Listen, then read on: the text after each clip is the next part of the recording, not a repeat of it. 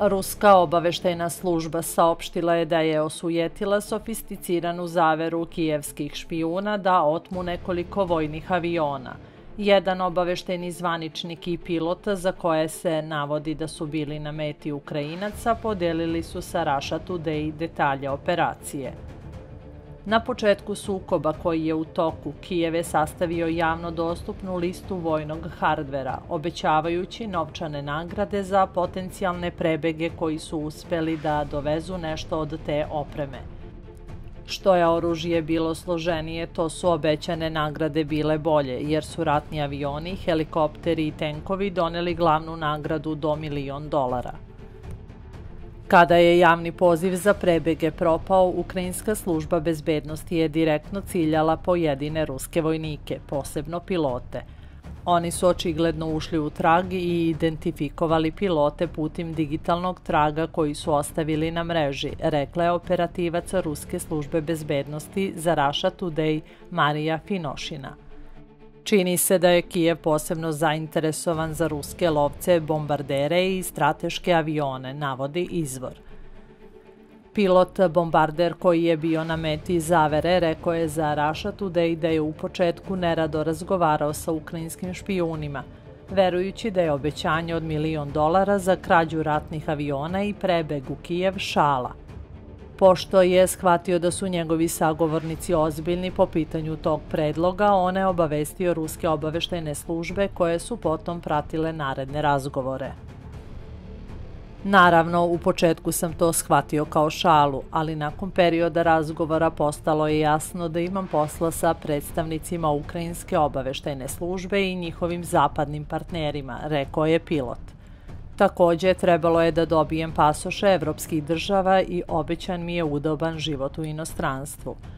Ukrajinski obaveštajci su očigledno verovali da su ruski piloti koje su kontaktirali spremni da počine izdaju i otmu sobstvene ratne avione, povezujući ih sa ukrajinskim pilotom kako bi razgovarali o tehničkim detaljima – Oni su toliko verovali u mogućnost organizovanja otmice da su nam otkrili raspored svojih odbrambenih sistema, visinske karte i mnogo drugih korisnih informacija. Rekao je ruski pilot i dodao da su korišćene informacije dobijene od Ukrajinaca tokom vojne operacije. Da bi dokazali da su piloti zaista bili u stanju da izvedu otmicu i da su imali pristup određenim ratnim avionima, ukrajinski obaveštajci su od njih tražili video dokaz – Piloti su bili plaćeni između 4000 i 7000 dolara po snimku koji je pokazivao kako ulaze u avione dok drže komande papira sa određenim brojevima.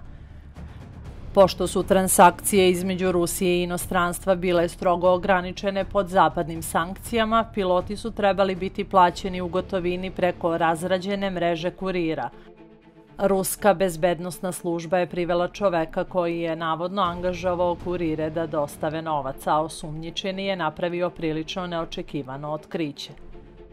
Posrednik je tvrdio da je dobio naređenja direktno od Krista Grozeva, bugarskog novinara i glavnog ruskog istražitelja u Belingretu, kontraverznoj organizaciji koju finansira američka vlada i koja je ranije u julu označena kao nepoželjna u Rusiji – Moskva je više puta dovodila u pitanje nezavisnost istražne grupe, navodeći njene bliske veze sa zapadnim obaveštajnim agencijama. Grozev nije mi ništa objasnio, samo mi je rekao ime kurira koji će novac dostaviti vozom, tvrdi osumnjičeni.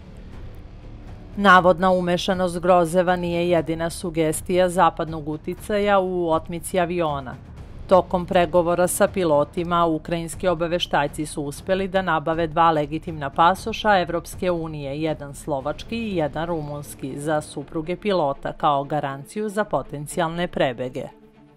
Napuštanje Rusije sa takvim dokumentima bi odmah pretvorilo porodice pilota u taoce ukrajinske obaveštajne službe, rekao je operativac Ruske državne bezbednosti za Russia Today jer su metode ucene, pretnje i pritiska na rođake za njih odavno standardna praksa.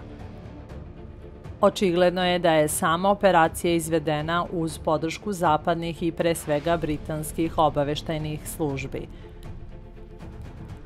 Ukrajinski obaveštajci su navodno sugerisali da ruski piloti treba da drogiraju svoje drugove klofelinom, klonidinom, lekom koji se koristi za lečenje visokog krvnog pritiska i drugih bolesti. U visokim dozama, međutim, ima snažan sedativni efekat, što drogu čini popularno među kriminalcima koji žele da nokautiraju svoje žrtve da bi ih opljačkali. Veoma visoke doze takođe mogu biti smrtonosne. U Rusiji nije lako doći do te droge, a državna bezbednostna služba kaže da je kasnije pronašla zalihu tih lekova, jer Ukrajinska obaveštajna služba je organizovala mrtvo ispuštanje te substance. Od mene je kao pilota zatraženo da nokautiram svog kopilota, a šta će se s njim dogoditi nakon toga nije jasno, čak ni da li će ostati u životu, rekao je ruski vojnik. Prema informacijama državne bezbednostne službe, ukrajinska strana je insistirala da će članovi posade biti bezbedni i da će kasnije biti razmenjeni kao zarobljenici. Ruski pilot je međutim izrazio jaku sumnju u to. Pratite naš kanal i playlistu Crne priče iz zemlje i regiona.